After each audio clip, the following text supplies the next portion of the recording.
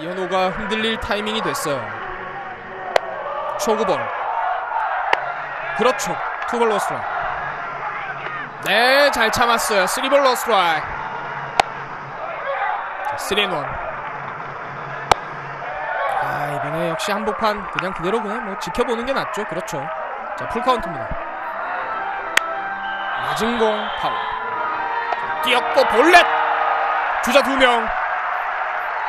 이로써 100개째 볼넷 달성을 하는 최준성입니다. 시즌 100볼넷 달성했습니다.